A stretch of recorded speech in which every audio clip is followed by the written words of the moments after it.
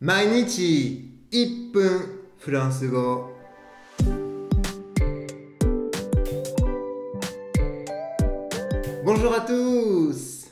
C'est Sébastien. Minasan, vous parlez bien français. To, Furansujin ni waretara, saiko no homekotoba janai desu ka? Kyou wa minasan ni フランス語の学習方法の3ステップをご紹介したいと思いますでもその前にチャンネル登録お忘れなく La première chose à faire quand on veut améliorer son français, c'est d'apprendre de nouveaux mots tous les jours. On a tous un temps limité, donc je vous conseille d'apprendre des mots par rapport à vos passions ou par rapport à votre situation actuelle. Par exemple, si votre passion est la cuisine, apprenez des mots spécifiques à la cuisine les ingrédients des recettes, les ustensiles de cuisine ou des verbes spécifiques à la cuisine. Si vous travaillez, retenez des mots spécifiques à votre travail. Si vous attendez un bébé, retenez des mots spécifiques à la puriculture. Un moyen très efficace de retenir le vocabulaire, c'est d'écrire un journal. Je vois beaucoup de personnes qui écrivent leurs journaux directement sur Instagram.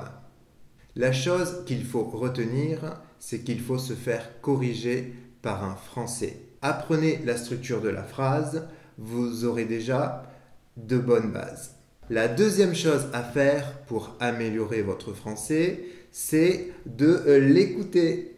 Vous avez beaucoup de moyens à disposition avec Internet vous pouvez regarder des films ou des séries. Vous pouvez regarder des reportages ou des chaînes spécifiques de youtubeurs français, par exemple.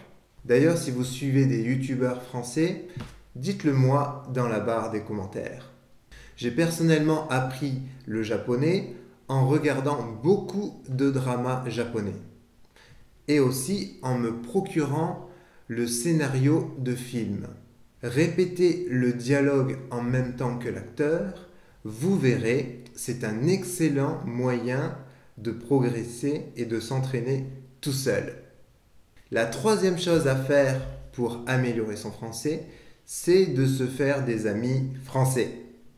Et oui, ça semble évident, mais il faut pratiquer. Donc pour pratiquer, il faut communiquer avec des francophone.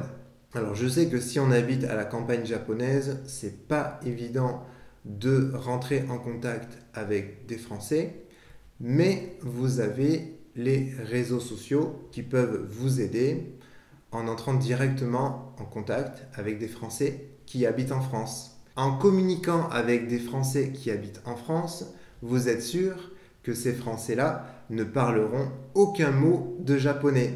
Donc ça, c'est une très bonne chose pour vous. Vous serez obligé de communiquer en français. Après, bien sûr, si vous avez la possibilité de venir en France, c'est le meilleur moyen pour progresser en français. Maintenant, c'est à vous de jouer. 皆さんどうでしたかフランス語学び始めて何年ぐらいですかどうやってフランス語を勉強してますかコメント欄で教えてね。高評価、チャンネル登録、シェアもお忘れなく。では、また明日の動画でお会いしましょう。Au revoir les amis